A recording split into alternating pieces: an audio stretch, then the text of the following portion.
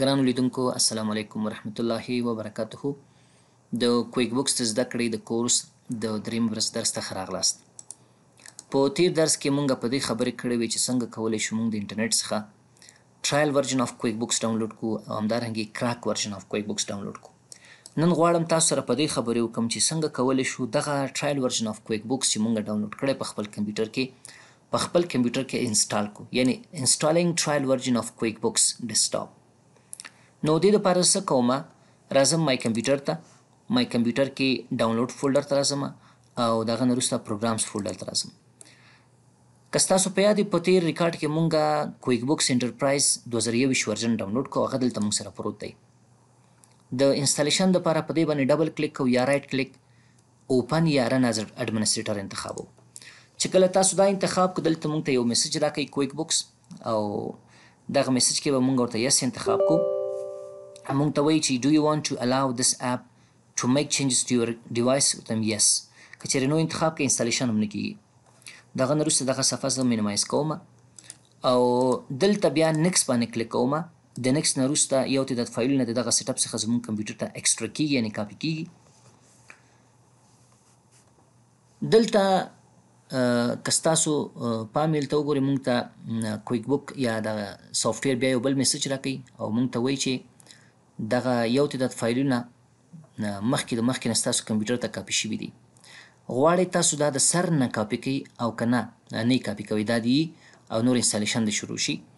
The following files is already on your computer یا file is already on, on your computer زه ورته هم سر نه دا کاپي کا اوور رایټ کا داسې نشي چې هغه فایلونو کې څه مشکل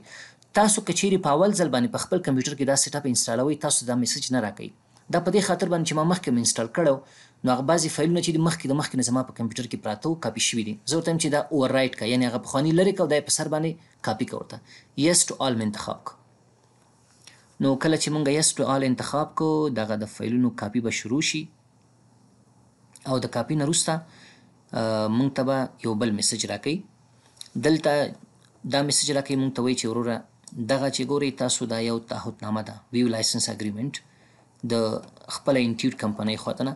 مونږ ته وایي چې وروره دا تاسو ولولئ آیا تاسو مونږ سره موافق استئ دغه شرایطو په اساس باندې چې مونږ جوړ کړی دي زور تم چې مشکل نشته دی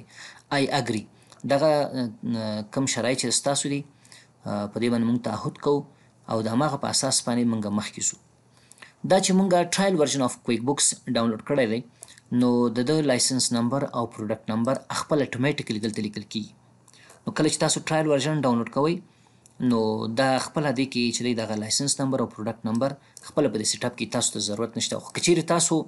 اصلي لایسنس والا ورژن اف کویک بوکس اغستی او لایسنس د سره نو دلته به تاسو هغه لایسنس پروډکټ نمبر لایسنس نمبر او پروډکټ نمبر هغه کوي چې په هغه کې یو اکټیویشن کوډ می چې هغه به تاسو نه روسته غواړي نو دې شان ته ضرورت نشته چې موږ تغیرات راړو چې دا ټرایل د خپل پکشته نیکس انتخابوم بیا دلته چې کله مو نیکس انتخاب کړل ته درې آپشن موږ ترا کوي او دا آپشن ډیر زیات مهم دي کله چې تاسو کویک بوک انسټالوي په کویک بوکس په خپل کمپیوټر کې انسټالوي دا په درې شکله انسټالیږي اول دا دی چې I will be using QuickBooks desktop and this computer که چیرې تاسو غواړئ چې صرف هم دغه یو کمپیوټر کې کویک بوکس انسټال کړئ دا آپشن به ورته انتخاب کړئ یعنی تاسو دا کمپیوټر از سرور نه استعمالوي خپل کمپیوټر نو صرف تاسو کم کویک بوکس انسټالوي تر څو استعمال کړئ ضرورت بالکل دا یو مسله شو بل دویم چې دی I will be using QuickBooks desktop on this computer and will be Storing our company file here so it can be share our network زه خپل په کمپیوټر کې کویک بوکس کمپنی فایل هم استعمالوم او غواړم چې دغه کمپنی فایل په نټورک باندې شیر کړم کله چې تاسو په یو دفتر کې کار کوئ هلته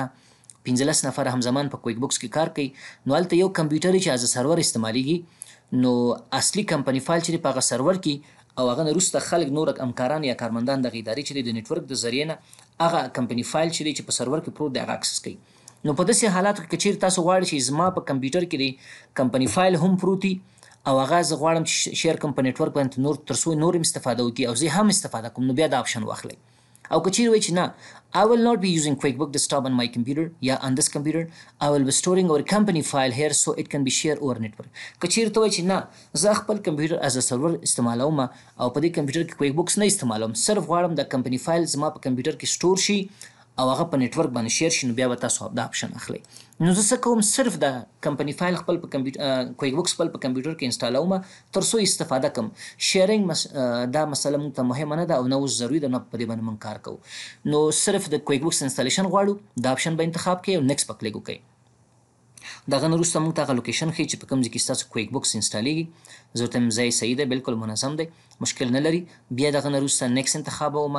دلته موږ ته بعضې معلومات راکوي چې دا ستاسو لایسنس نمبر دی دا پروډکټ نمبر دی او په دغه ځای کې ستاسو دا کویک بوکس سافټویر انسټالیږي که دا پرنټ کوئ پرنټ کولای شئ از نوټ ځان سره وساتئ د هغه نه وروسته زه ورته وایم چې نه دا معلومات دونه مهم نه دي او زه فقط انسټال باندې کلیک کوم چې کله تاسو په انسټال باندې کلیک کړئ نو د کویک بوکس انټرپرایز سولوشن 2021 انسټالیشن به زموږ په کمپیوټر کې شروع شي دلته بلک زره انتظار او باسي صبر بکوي ځکه چې دا انسټالیشن لږ زره وخت نیسي او دا چې دا سافټویر نو هم دی نو په دې خاطر باندې کېدای شي لږ زره زیات وخت ونیسي دا د انسټالیشن شروع شو زموږ په کمپیوټر کې د دې لپاره چې زمونږ دغه د ویډیو د ریکارډینګ لینث زیات نشي زه دا ویډیو ریکارډینګ پاس کوم چې کله اخري مرحله ته ورسېدو بیا هلته بیرته دا ریزوم کوم زه